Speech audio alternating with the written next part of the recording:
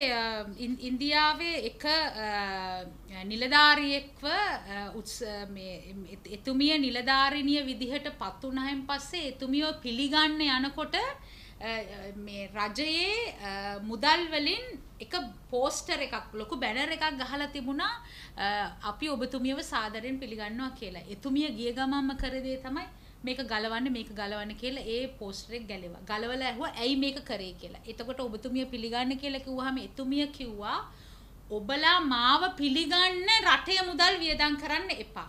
මම ඒකම තමයි මේ ලංකාවේ රජයට කියන්නේ. ඔබතුමන්ලාව පිළිගන්නයි. ඔබතුමන්ලාගේ මූණ දාන්නයි. හදන හදන පොඩි පොඩි පාර ඉස්සරහා ඔබේ පින්තූරේ දාන්නයි. මේවට වියදම් කරන මුදල් මේ මහජනතාවගේ මුදල්.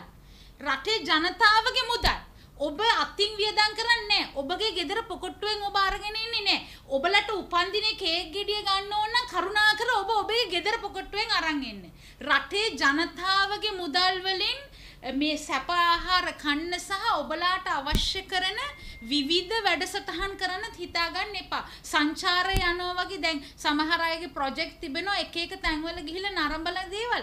ඒවට ගිහිල්ලා වියදම් කරන්නේ රටේ මුදල්.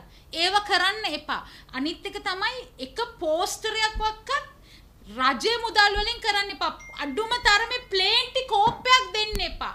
රජය කියලා කියන්නේ මේ දේවල් කරන්න තිබෙන එකක් නෙවෙයි. රජයේ ජනතාවගේ මුදල් වලට ඒවට වග කියන්න රුපියලට ගණන් දෙන්න ඔබ බැඳිලා සිටිනවා. ඔබ බැඳිලා සිටිනවා මේ වගේ මුදල් මොනවට වියදම් වුණේ කියලා කියන්නේ.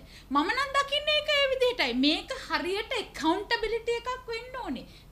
වියදම් සිදුවන්නේ කොයි ආකාරයේද කියන එක. ඊටාම වැරදි. මේවා සියල්ල නතර විය යුතුයි.